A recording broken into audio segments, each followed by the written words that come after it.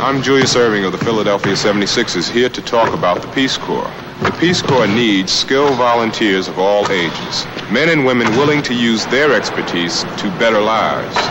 When I was young, a lot of people went out of their way to help me. That's what the Peace Corps is asking you to do. Go out of your way to help others. And you help yourself.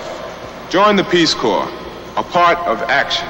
This public service message is brought to you by the Ad Council and the NBA.